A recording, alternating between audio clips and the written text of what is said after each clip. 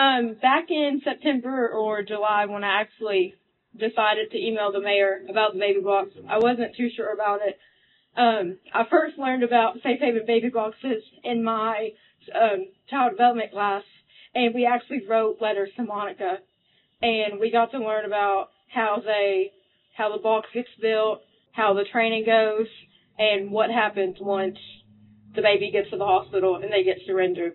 Um, I think the safe haven law is actually a really good law to have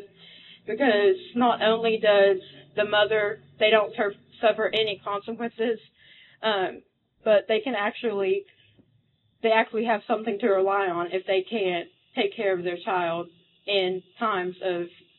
um, like low circumstances or financial um, compensations or whatever.